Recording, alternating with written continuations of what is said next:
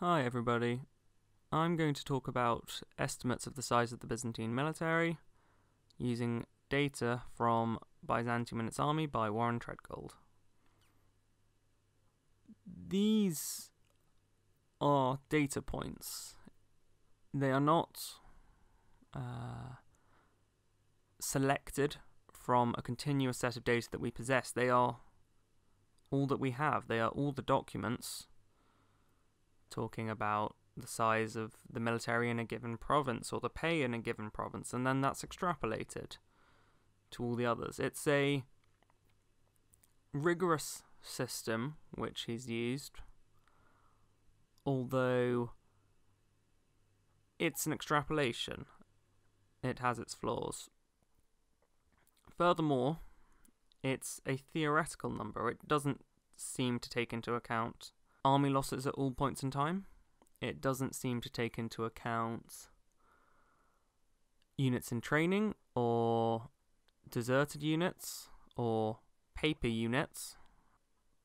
But perhaps the way of interpreting it is this is what the Byzantine military was wanting its army size to be at any given time.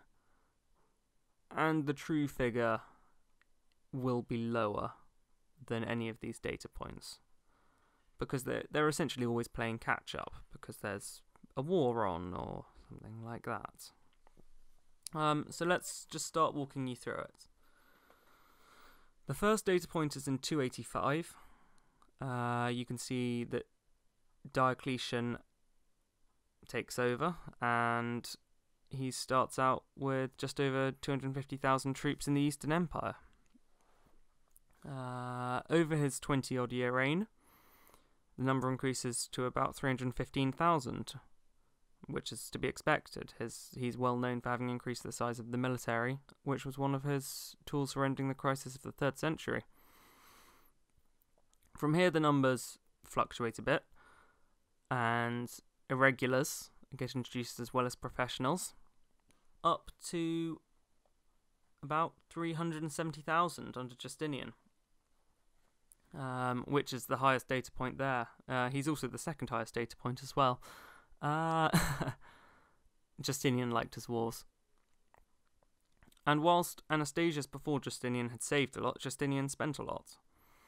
The only problem was once Justinian had spent a lot, there wasn't then a lot of money. Uh, the empire really struggled to hold on to the territory which it gained because it had expanded its borders and not secured the provinces. They were damaged uh, from his wars. The tax revenues weren't much greater, and uh, the empire started losing ground. The Lombards invaded Italy in 568.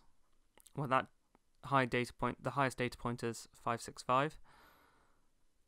And the empire starts retracting. So you've got the Justinian's plague, uh, which is really hitting the population hard um, potentially 40%, 50% casualty rates over the course of 20 years.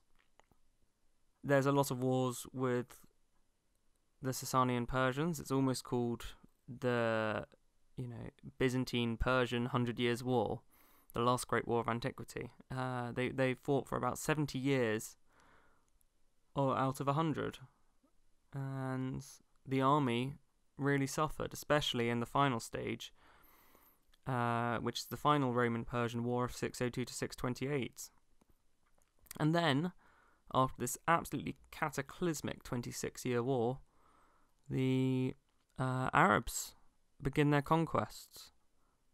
And the Romans, for instance, lose possibly 30,000 soldiers at the Yarmouk in 636.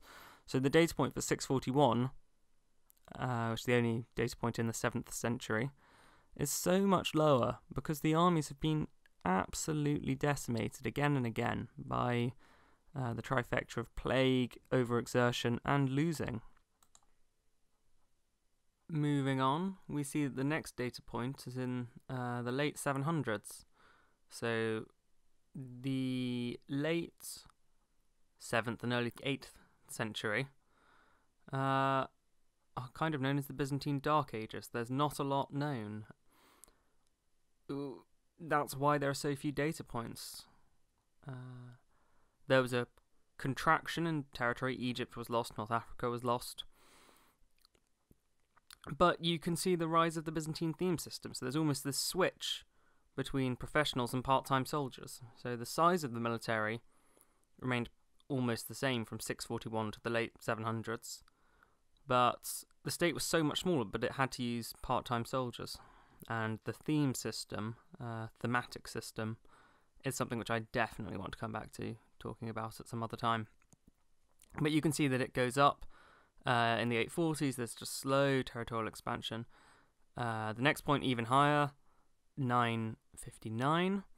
And the increase in the number of professionals is actually quite profound at this stage uh, if you think of it fractionally, because that's very near to the zero bar. So the army's becoming more professional uh, as well, and it tells. So it's not we don't have the data, but the next twenty years after 959 are a time of absolute military conquest for the Byzantine. They are killing it in northern Syria, Cilicia, Crete, Cyprus, and then the Danube region of Bulgaria. It's a good time to be a Byzantine. It's the one of the times of fastest military expansion that they have. And finally, 1025. It's the data point at the very end of Basil II's reign. It's the only point with an error bar, which is what Treadgold provides. It's an extrapolation from the data from the 840s. And I think it tells that the the numbers seem too high. You know, the empire was larger, but it uh, it doesn't seem to have been that much larger. And we'll actually get back to that when we look at the percentages. So now our graph has changed, and we're looking at the percentages of militarized personnel in the Byzantine states. Uh, it ranges between 2.4 and 1.2%. It's interesting that the graph is similar, as one might expect, to the total. Uh, it's almost matches, uh, one could argue. There's oh, I, sh- I, should say the the population data is from Colin McEvedy's uh, Atlas of Medieval Europe, as I believe it's called, um, and the the population data is even less accurate than the army data. So it, it's basically hypothetical. Uh, there's just a few interesting points. It, it's it's a low percentage of of the total population, basically. In 641, the Byzantines have lost their military, but they haven't quite lost their land yet. Egypt, for instance, has taken in 642. So the military percentage is very low at that point. And it's so low it's unstable and territory is then lost. Remember, I'm talking about the Arab conquests here. Uh, and then the only other real point I want to uh, comment on is A, the militarization in the 900s and how that seems to have led to uh, success there, uh, where there's more military personnel and then there's more uh, soldiers because they can take more land. It, it's almost, I, I think it's quite conclusive there. Um, and then finally going on to the data point from 1025, and it, the data point says 2.4% of the population. I I don't buy it. I think this is where we see the weaknesses of the data. Um, none of the other data points were ever near that high, and uh, I think, uh, for instance, a, having a percentage of the population closer to two percent would fit reality probably a bit better. So maybe Basil II isn't isn't all that he's cut out to be. Um, and that's all, folks. Cheers.